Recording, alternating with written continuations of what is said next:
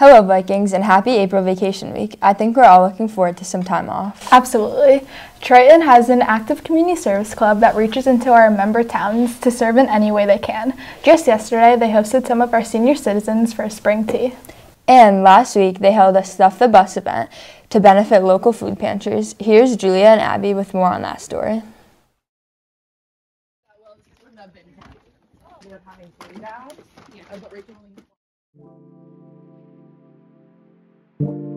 Last Saturday, April 6th, Triton Community Service Club held a Stuff a Bus event to gather food for the Newbury and Rowley Food Pantry. The event was organized after the food pantries requested help due to the rising food insecurities in our community. According to GBFB's report, an estimated 32% of Massachusetts residents rely on a food pantry to get the proper amount of food and nourishment. Due to the rising prices of food in today's economy, families are left with high grocery bills that they cannot pay. In a report from 2023, nearly 60% of people said they were facing struggles while trying to pay for their food. Triton High School brought in last year a food pantry here, and it's um, thanks to the Newbury Food Pantry. Our food pantry here in the school helps all of our students that are suffering from food insecurity. Food insecurity can be a daily struggle, or it can be a one off, once in a blue moon that maybe money is a little tight that week. Um, the Newbury Food Pantry has been fantastic in serving any needs that we come up with. Um, we have over 500 kids in the school, and quite a few of them use it often. With this high need for aid in getting adequate food supplies, not only paying for the food but also getting to the store, Triton area food pantries have reached out to confront the rise in demand.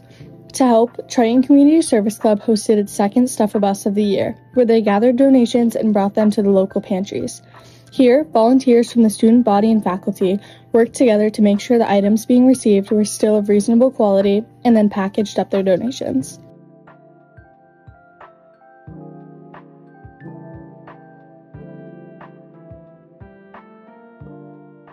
I took the time out of my weekend to do this because I feel like it's important because food insecurities are very prevalent in our society today.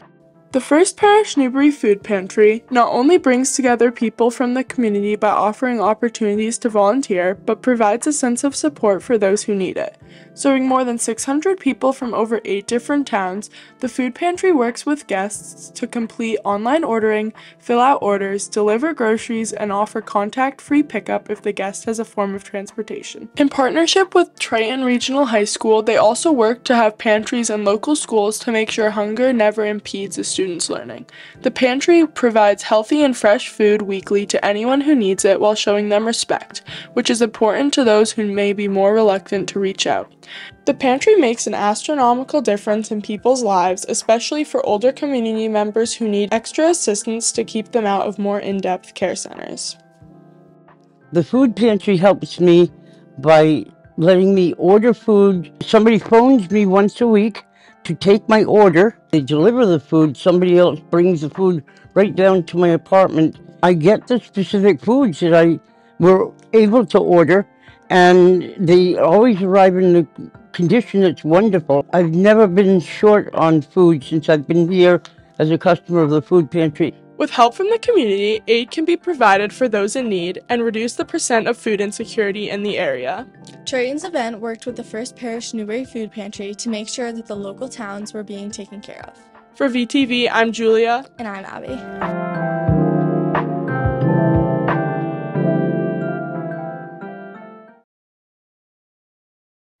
Triton offers an equal number of sports for boys as it does for girls, and just as many girls participate in sports as boys, but that's where the similarities end. If you attend Triton athletic events regularly, you have probably noticed a big difference in the number of fans that come out for a boys' game versus a girls' game.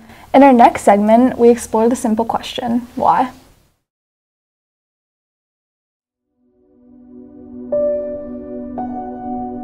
Hi, my name is John Purley. I go to a lot of sporting events. I go to hockey and basketball. And I go to boys over girls because it's just better. There is an equal amount of male and female athletes at Triton. Yet the student section size is always dramatically different.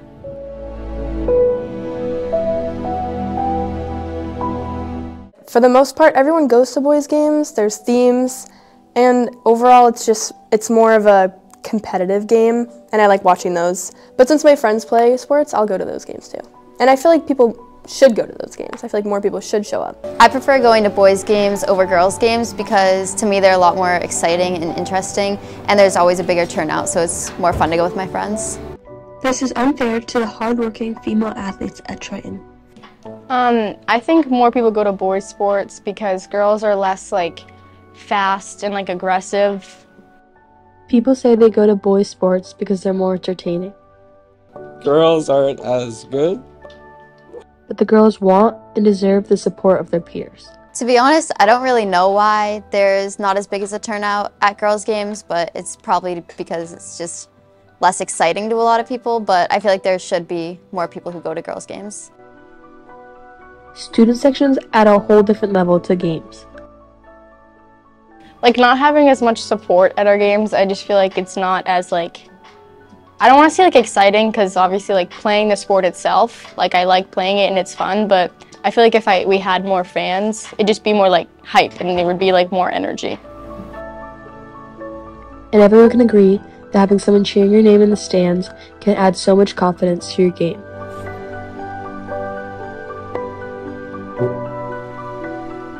A lot more fun when a lot more people go because it just fires me up more because there's more noise and uh, whenever I score, you know, I like to sally towards the stu student section, you know. I think the girls deserve way more support than they have right now. I feel like if you have a big crowd of people, if they're chanting your name and they show up, I feel like that would make me personally play better instantly. I feel like just as soon as you have people watching, you just want to play good for them. And if the girls' teams have a crowd, they would do better. If fans expect an entertaining and competitive game from the girls, then is it too much for them to expect their peers to show up? It's unfair that like all the boys get to have all these people at their games and then no one comes to girls' games.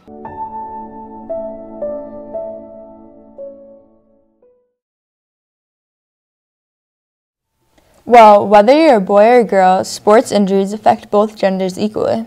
We are fortunate here at Triton to have amazing athletic trainers to help us prevent injuries and also care for us when the unexpected happens.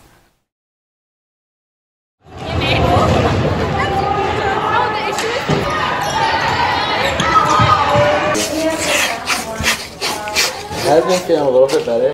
Triton is filled with many different athletes. Playing sports comes with many different challenges, including unexpected injuries. Injuries are unpredictable with any sport. Different injuries have different effects, and the severity of them can vary. Uh, I was playing lacrosse, and uh, I fell, and someone uh, stepped on my ankle and it broke. Um, last season in the fall, I got hit with a field hockey ball in the eye, and I had to get seven stitches. Students are out for long amounts of time after getting injured. Missed school time can also have an effect on the athlete's grades. Um, I got injured during track, and I was out for four months. I separated my shoulder during hockey and I was out for two weeks. Physical therapy can be a long, painful process that is different for every injury. So, athletic training, uh, the treatments that we provide differ uh, widely depending on what type of injury we come in. So, we have anywhere from bumps and bruises to cuts, and those require very minimal treatment, you know, very quick, but then you get your more significant injuries like concussions. Uh, broken bones, dislocations, uh, all that. And those require much more extensive treatments, referrals to other healthcare professionals.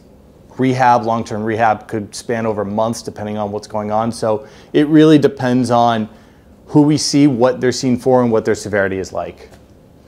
Many of Triton's athletes have experienced and overcome injuries, whether they were minor or affected them in a more serious way. And although physical therapy might not be the easiest process, it certainly does help. For VTV, I'm Carly.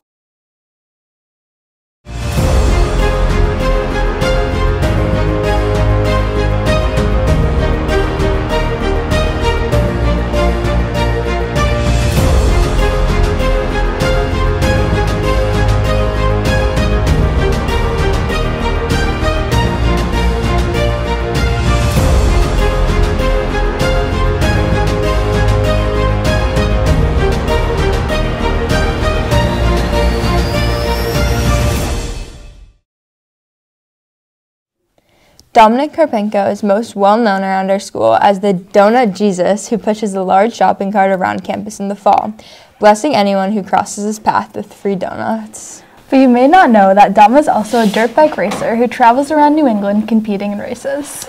Up next, Dom shows us how he cares for his bikes after each race.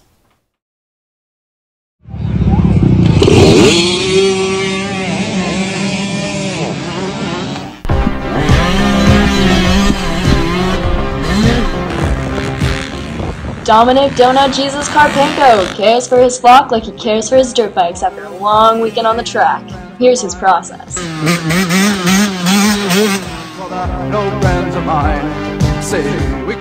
Alright, how to clean a dirt bike 101. This is a power washer. I like to use that. I know a lot of people that use just the hose, but the problem with the hose is that you have to put a lot more work and effort, and to be honest, I don't care, so I use the power washer. This is the trailer I use. A lot of people just throw them right in their garage, however, I'm too lazy, so I just leave them in the trailer after a long day at the track, and there they are in all their glory, my nice sturdy bikes. Is young and so am I. And we can dress real neat hearts and surprise them with a victory cry. Say we can act. Here I'm just throwing the bike right on the stand, and getting ready to get nice and clean. Here's another angle of my dirty bike, because I don't think we've had enough of those. That covers part one of cleaning a dirt bike, so hopefully you enjoy this next clip of me literally just spraying it down and getting all that heavy mud off. We can dance, we can dance. Everybody look at your hands. We can dance, we can dance. Everybody's taking the chance. Safe to dance. Oh, it's safe to dance. Oh, yes, it's safe to dance.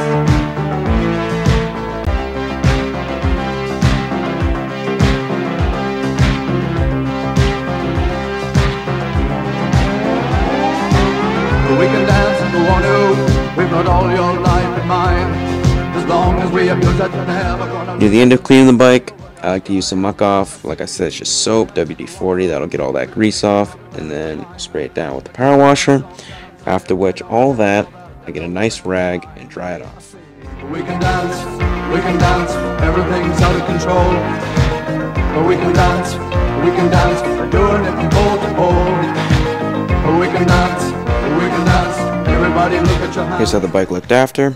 I don't think it looked that bad. Everybody's taking a chance. Well, it's safe to dance. Yes, it's safe to dance. Well, it's safe to dance. Well, it's safe to dance. Yes, it's safe to dance. It's safe to dance.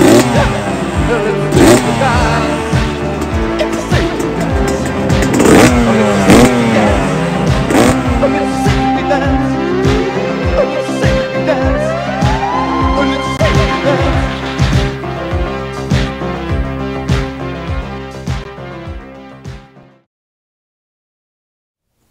In this week's hallway walking segment, Maggie and Valentina asked you guys to share your guilty pleasure songs with us. And not just tell us what they are, but also sing some of it for us. We discovered some hidden talent out there. We also found some talent that should remain hidden. Over the past week, we have interviewed students and staff on what their guilty pleasure song was or what they were listening to. Let's dive into it. What song are you listening to right now? Uh, I'm listening to Yellow Submarine by the Beatles. Can you sing a part of it? We all live in a yellow submarine. Okay. What are you listening to? I'm listening to Nothing to Prove by Brady Tim. Can you sing a little bit of the song for us? I got nothing to prove, baby. And I got nothing to lose, baby. What's your guilty pleasure song? Uh, me, you, and Hennessy. Can you sing a little bit of the song for us? Me, you, Hennessy, look what you did. What song are you listening to right now? Everything I Am by Kanye West. Can you sing a bit of it? Yeah. Oh, here we go again. Everybody's saying what's not for him, but everything I'm not made of. What's your guilty pleasure song? Um, I would want to say mine's got to be like rap or hip hop. Do you want me to help you pick? Sure. Okay, do you want to sing Party in the USA? Sure. Okay, ready? Yeah. It's a party in the USA. What are you listening to right now? Right now, I'm listening to Runaway by the Jonas Brothers, and it's got some other Hispanic artists with it. Can you sing a little bit of the song for us? Oh my gosh, en serio? Let's run a run a run a run away, run away with run a run a run a run a run a run away with run a run a What's your guilty pleasure song? Kung Fu fighting. Can you sing a little bit of the song for us? Absolutely. Whoa! Everybody what's Kung Fu fighting. What's your guilty pleasure song? The Underdog is excellent if anyone's not listened to it. Can you sing a little bit of the song for us? Oh, I have to? Oh, okay, okay. You got no time for the messenger. Got no respect for the thing that you don't understand. You got no time for the underdog. That's why you will not survive. That's it. Maggie, what's your guilty pleasure song? My guilty pleasure song is Wondering Why. You sing a little bit of the song for us? Of course.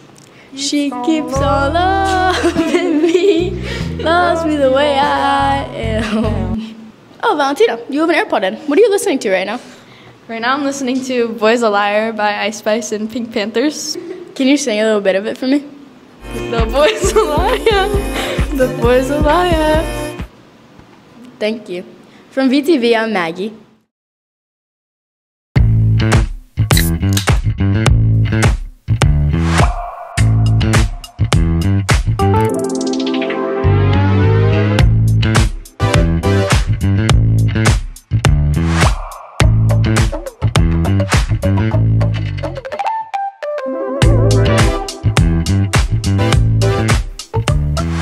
Delivering all the soda feels with 5 grams of sugar or less, clean ingredients, and prebiotics for your gut. It's time to love soda again. We end this week's show with a music video by Mia and Molly to a well known Khalid hit. Sit back and enjoy 18.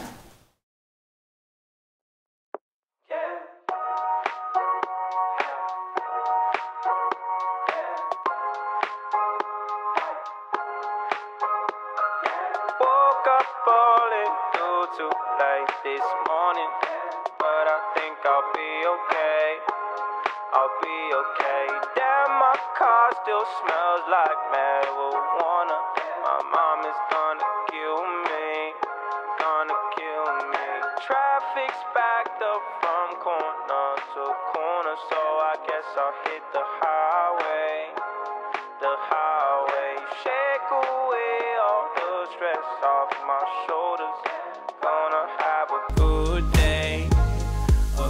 Good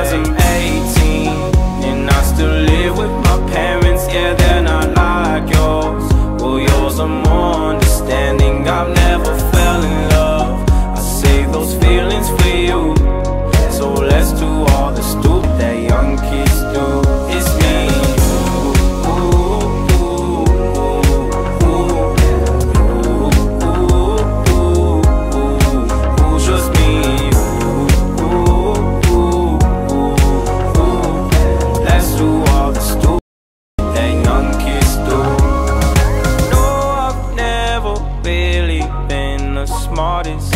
Yeah, I've made my mistakes, my mistakes. You were there when times were at their darkest, always showing me the way, lead the way.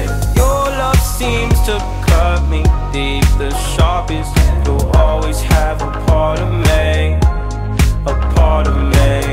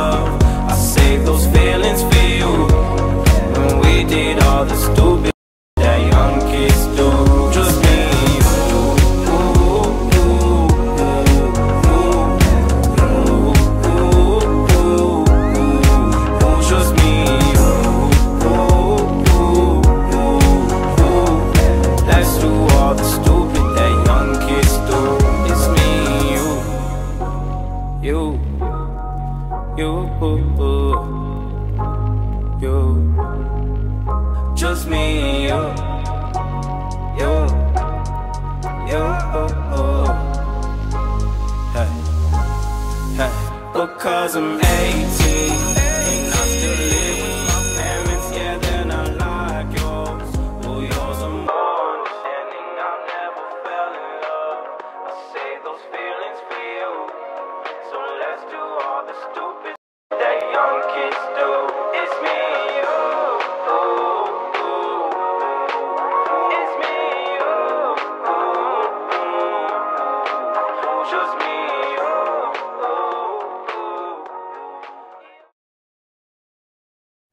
Well, that's it for our show. If you want to see more of our content, smash that like button and subscribe to our channel. I'm Ava. And I'm Ella. Happy vacation bikes. check, check. Ava, same thing. Check, check. Here we go. Posture. How are we doing on time? Uh oh. Easy peasy. Lemon squeezy. Oh. What were you gonna say? I was gonna say pumpkin. Wait, I need to look good. Where my hug at? Oh, got your phone. what? We did good. Like and subscribe.